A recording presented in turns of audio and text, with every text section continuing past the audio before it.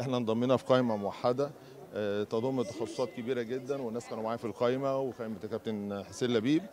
قدرنا لا الكواليس مفيش مح... إحنا متواصلين من زمان مع بعض يعني ده مش موقف ده نادي الزمالك أي حد فينا وفي ناس كتير زملكاوية لو يقدروا يعملوا أي حاجة بسيطة الزمالك يعملوها.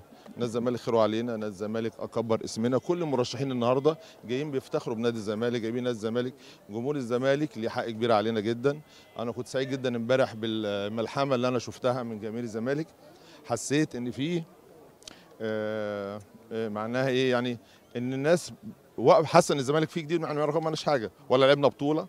ولا جهزنا حاجة لكن حسيت إن الجماهير حست إن خلاص الزمالك راجع لطبيعته وإن شاء الله مع المجلس الجديد بالزملاء اللي معاه كلهم كابتن حسين لبيب كابتن هشام نصر كابتن الدكتور حسام المندوب هاني شكري هاني بيرزي آه، آه، عمرو الأدهم محمد طارق آه، نيرة الأحمر أحمد خالد كمان رامي كلنا في حد نسيته في الأسماء الست؟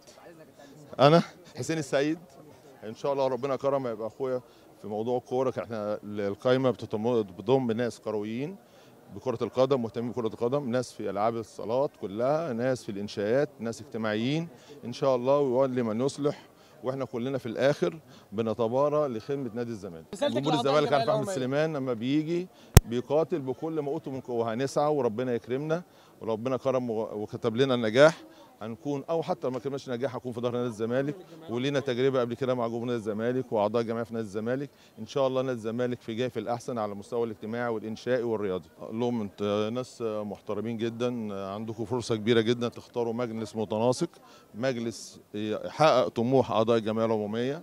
مجلس آه، يقدر يخلي نادي الزمالك في حتة تانية. لأن مكانه نادي الزمالك على المستوى العربي والأفريقي والعالمي المفروض يبقى أحسن من كده بكتير. إن شاء الله اطمنكم بمجموعة المجلس اللي معانا والزملاء المقدمين اللي إحنا كلنا هنسعى في إيد واحد حتى لو ما حصلوش التوفيق اللي إحنا نستعين بكل الناس لرفع اسم نادي الزمالك على المستوى الإنشائي والاجتماعي والرياضي.